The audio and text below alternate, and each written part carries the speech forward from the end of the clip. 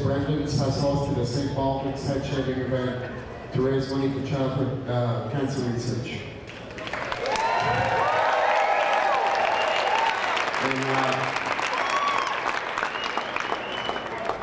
in New York in 2001, the event began with uh, three Irish Americans who wanted to give, who'd done quite well, wanted to give something back. And they decided that they would shave their heads in an attempt to raise $17,000 on the 17th of March. They raised $210,000. And so, and so was formed the, the St. Baldrick's Foundation, which last year raised $22 million. So, we're very proud to be part of it. Uh, we're very, very grateful that Pat Murphy and Pete Purvis and Gaelic Storm have come on board with us. This is my third year doing it, but uh, I think it's more impressive that the bagpiper, Pete Purvis, it was his first time doing it. Uh, I asked him if he would do it, and he was like, nah. So we, we put a bet. Uh, he's a Steelers fan, I'm a Green Bay fan, so we had a quick little bet saying uh, if the Packers win, he has to shave his head. And of course, that happened.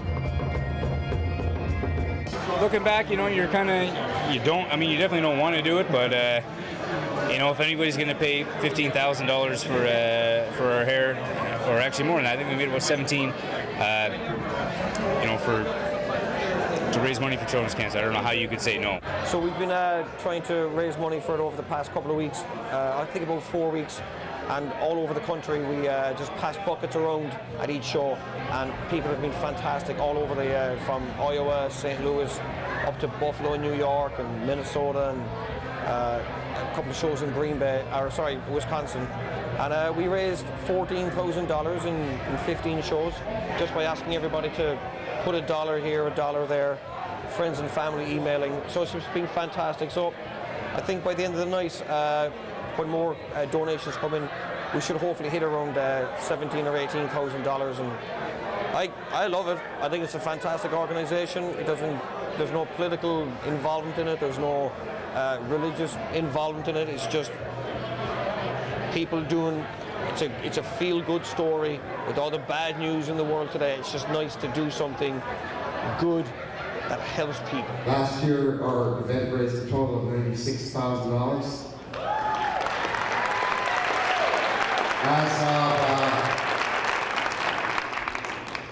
I should qualify this because last year, when I stood here said how much we had before the event, which will be Saturday at St. Brendan's, we had $31,000 raised. We just broke $70,000.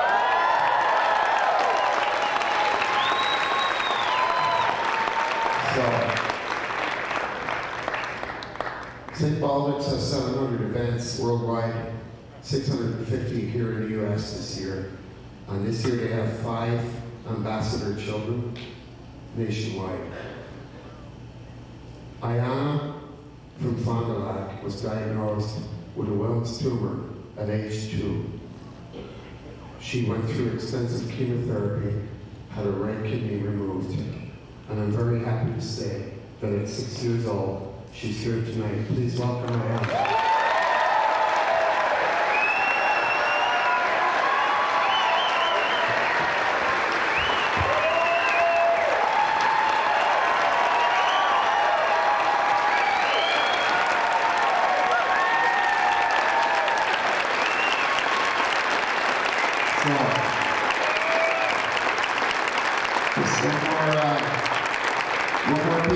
here. This will be the third year that Patrick Murphy has shaved his set here at the Meyer Theatre. Third. I'm sure most of you know, but for those that don't, Murphy is an avid Packers fan. What you may not know, or what maybe you do now, Purvis is a Steelers fan.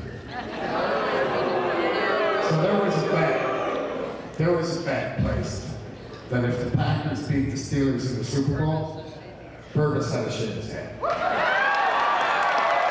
that's what we're gonna see.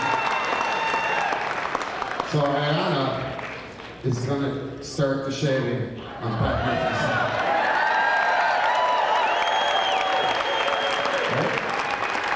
You ready?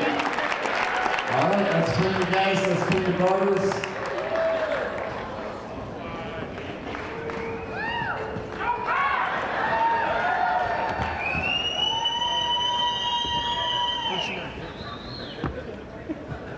Head. Okay, come here. Okay. Come right here. All right. Now see right here? Right there? You just go like this. Just like that. Okay? All right, here we go. Hang on. Job!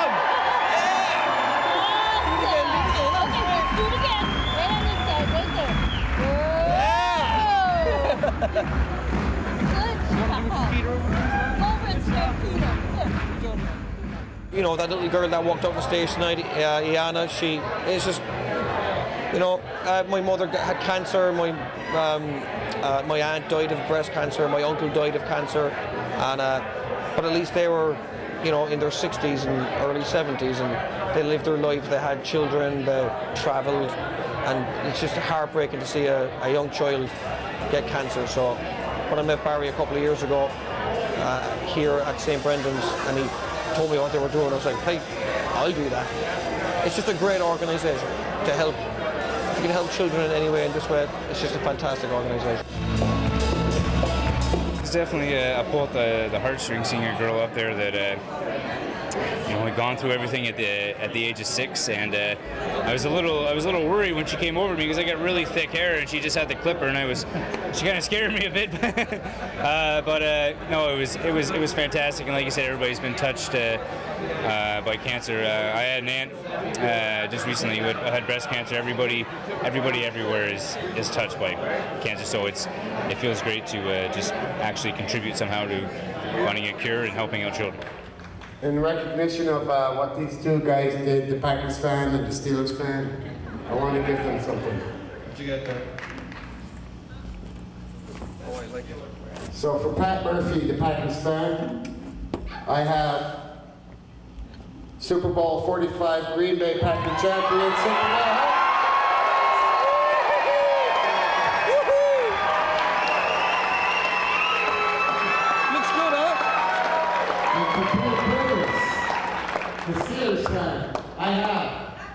Green Bay Packers Super Bowl 45. It's just great to raise money. Uh, a bunch of my buddies uh, at home, I play in a pipe band, obviously bagpiper, and a bunch of my buddies are cops, and they're uh, they all shave their heads every year, and I just think it's great that people get behind it and just do it. So here we go. The total is sixteen thousand one hundred and four dollars. We actually asked an audience. I think it was in St. Louis. I said, just hands up if you know somebody who has cancer or who has died of cancer, and literally every single person in the audience put their hand up. So this disease has, uh, it, I think it has pretty much affected pretty much everybody. So if we can just contribute a small bit locally here, and again with all the different cities around the uh, that have helped us out, because it has affected every, it has, it's affected everyone in the country. So just and what we asked the audience to do every night was, if you just, if there's, let's say there's 900 people in the audience, like if you give one dollar, so the one dollar doesn't really do much, but the 900 does, and then when you multiply that times 15 times 20, it turns into a lot of money to help, to help children, but to also help the families that have the huge um, uh, medical bills, and it's just a feel-good. It's a, it's, it's a win-win situation for everybody, and it, it doesn't cost anything to do it. It doesn't cost anything to do it, which is great. It's just like it's a good, feel-good, win-win situation for everybody.